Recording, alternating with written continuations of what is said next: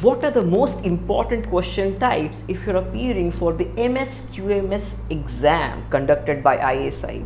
That's exactly what we are going to discuss in this video. So stick to the end because MSQMS exam is pretty near and you would not like to miss out on any important question types. The first question type is find the coefficient of x to the power r, r could be anything in some binomial or multinomial expression of x. Now a slight variation of this question could be find the coefficient of the term independent of x in this expression. Now again that expression could be some multinomial or binomial expression. The second question type is coin tossing, getting a fixed number of heads, getting a combination of head and tail and you get the drift. And the third would be rolling dice. The fourth question type is sum of infinite series. Now this encompasses a lot of sub question types.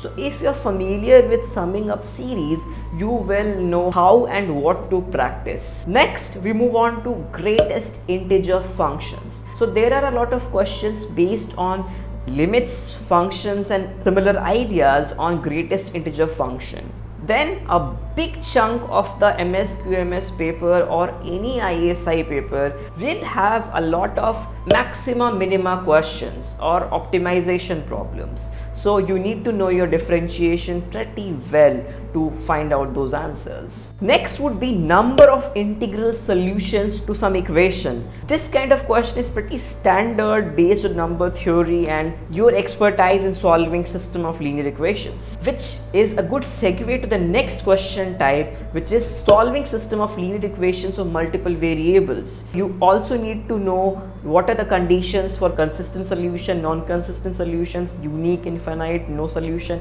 and so on. Then you have series based on log and its properties.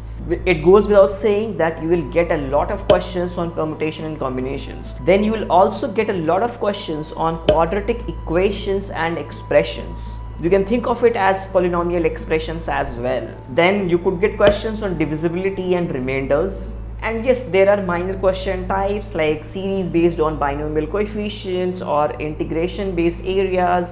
The list goes on and on and on. The question types which i have laid down in this video are pretty much essential. And i'm pretty soon going to make a one week preparation video for msqms so don't forget to like this video and also subscribe to the channel if you're new